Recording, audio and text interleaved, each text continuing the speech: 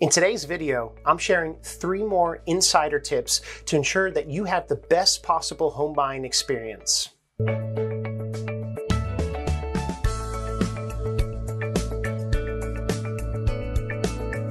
Hey, it's Chris Galpa with the Ruth Chris Real Estate Team, and thanks for watching video number two in this two part series. Let's get right into it. Tip number four is keep an open mind and have the right expectations when beginning the process of searching for your home. We always give our clients a warning.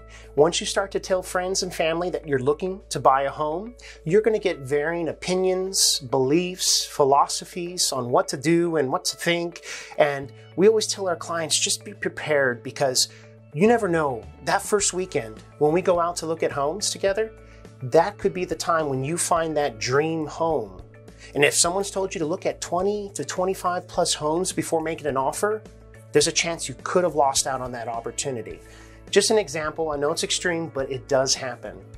We always also tell our clients that your home search, you'll have a set initial criteria in place when you start, but it's an evolving process. And as we go out and look at different areas, different types of homes, and, and different layouts and floor plans, just be open to the fact that you might become more receptive and mindful of, of things that you weren't considering beforehand. So as this does happen, make sure you tell your realtor so we can be on the same page with you.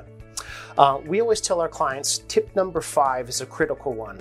Make sure you hire an agent that is going to do the diligence and the homework for you up front. Of course, with the main premise of protecting your investment. Uh, an agent that's going to have this mindset is going to look at a subject property of interest and pull the history report. How long has it been on the MLS? When was it last listed? What did the sellers buy the property for? And what have they done since purchasing it? We're going to get the seller's disclosure that gives you a breakdown of the property. And then we're also going to look for things like an updates list. Is that available for us? Um, we're also going to take a look at the comparable sales for the neighborhood and get you that analysis report. It's basically a breakdown where we interpret the most recent comparable sales and we tell you, hey, this house is priced fair, this house is priced high, or in the rare occasion, this house is priced aggressively. But ultimately, we want to give you the peace of mind, the information to put you in a position to make the best possible decision when the time comes. Uh, we're also going to look at it and tell you where we believe there could be potential appraisal issues. Those type of things are all tailored to make sure that you have the right expectations moving forward.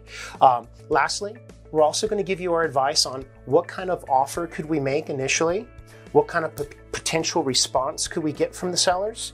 And essentially, how do we go from there? You're looking for a good negotiator.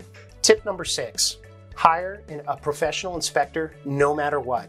Even if you're buying the house at a killer deal or a great price, we always say you cannot put a price on peace of mind when it comes to protecting your investment. We have several great recommendations when it comes to inspectors uh, who look at all the core components of the home um, electrical, foundation, HVAC, furnace, uh, plumbing, roof, and just about everything interior and exterior related.